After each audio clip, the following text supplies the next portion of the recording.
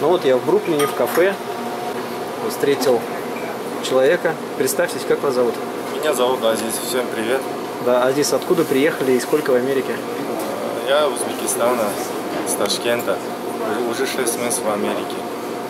Понятно. А, Нравится? Ну да, пока привыкаем. Не жалуюсь, в принципе. Нормально все. Понятно. И работа интересная? Очень, очень много интересного. А сколько, много научного. сколько, сколько зарабатываете? Приблизительно 3 тысяч в месяц. О, классно. А Что бы передали для тех, кто сейчас в Узбекистане и хотел бы тоже переехать сюда, в Нью-Йорк и остаться здесь?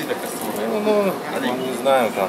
э, ну, тот, кто придет, языку научится, много интересного.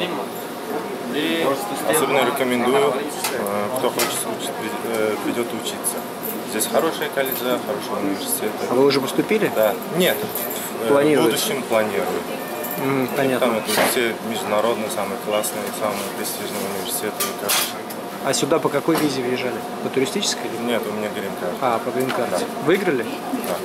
Понятно. Все, спасибо огромное. Друзья, подписывайтесь на наш канал. Ждем на нашем сайте э, usa-visa.com и в нашей группе в Facebook. Всем всего доброго.